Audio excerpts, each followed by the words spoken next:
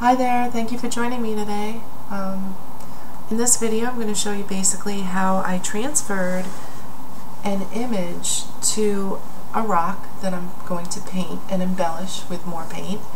Um, but basically I found a really great method and that is how to transfer an image using freezer paper. I have a video that I'll link below or somewhere in the description about how to print onto freezer paper from your computer. Um, but I'm not going to go over that here in this video because it would be too long. I want to keep it short and to the point and basically just explain what I've done so far and that is I have painted my rock with a coat of white paint, acrylic paint, and it's underneath these papers. This is a piece of, um, of computer paper that I attached the freezer paper to before I printed it out.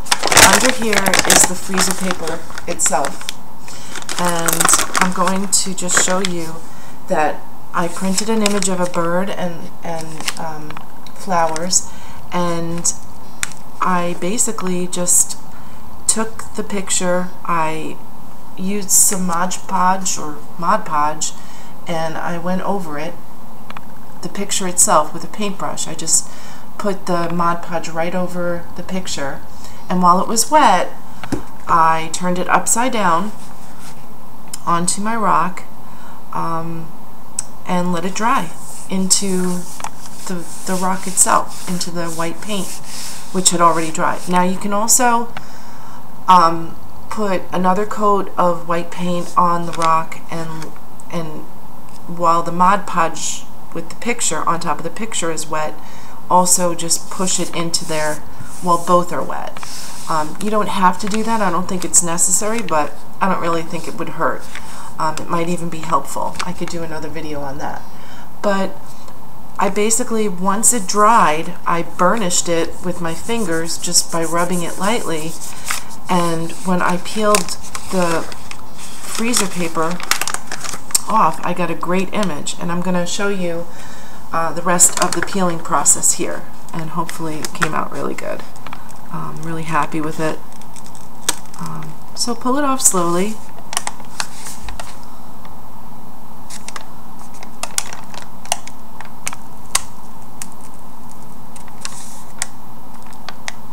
Now also I will say I wet the freezer paper a few times and and let it dry in between each of the um, times that I wet it.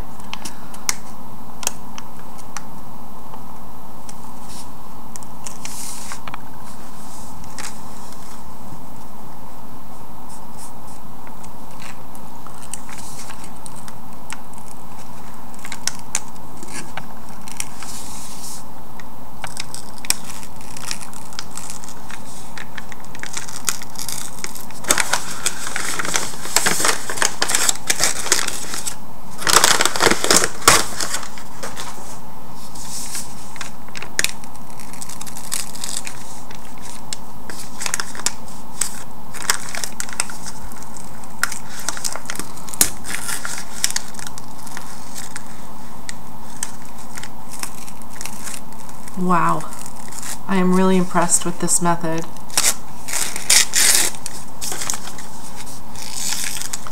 And so now this gives me a really nice um, image to work off of and embellish with my own style.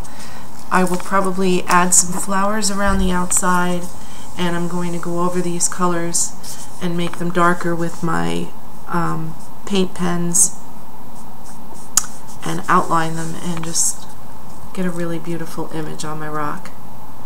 Um, I hope you enjoyed the video.